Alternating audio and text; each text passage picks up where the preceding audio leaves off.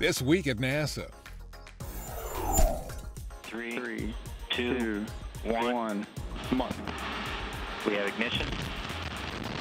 We have liftoff.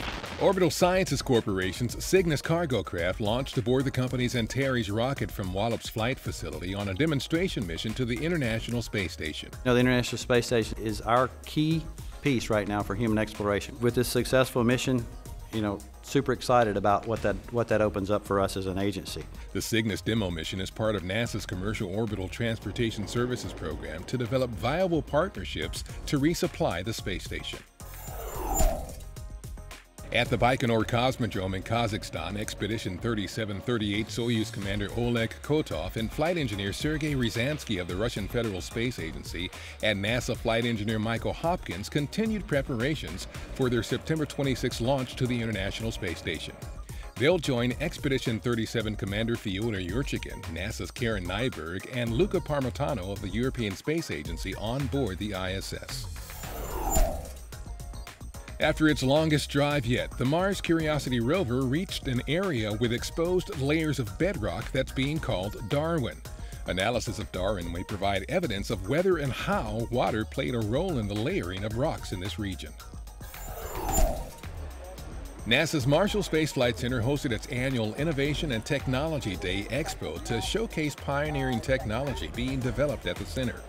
The expo provides an opportunity for the Marshall workforce to learn about the work of and collaborate with other organizations around the center. This week, NASA joined others in celebration of National Aerospace Week. The annual observance recognizes the contributions of NASA and others in the aerospace industry to America's economy, global competitiveness, and national security. NASA continues to develop technologies in anticipation of emerging global trends in the aviation industry. In conjunction with an event on Capitol Hill honoring the Boys and Girls Club of America's Youth of the Year, NASA Associate Administrator for Education Leland Melvin signed a Space Act agreement forming a partnership with the organization.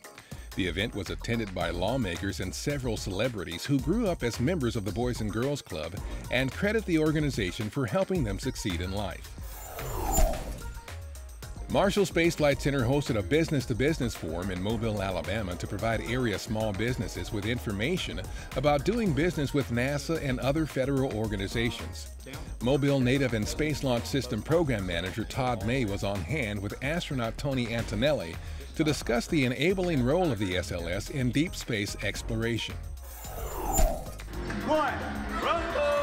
He's coming back. Not gonna take that. Students at Hardy Middle School in Washington, D.C. were treated to a high-energy hip-hop physics show when FMA Live, Forces in Motion, kicked off its 2013 season a collaboration between NASA and Honeywell, the live interactive ensemble teaches Newton's laws of motion and universal laws of gravity using actors, dance, music videos, science demonstrations, and video interviews with scientists and engineers. All right, uh, liftoff and the clock has started. Yes, sir, reading you loud and clear. NASA's got a collection of historic sounds available for download that you can use for ringtones, default computer sounds, or anything else you can imagine. So if you make a mistake on your computer, instead of this, it could be this. Uh, Houston, we've had a problem. And that's this week at NASA.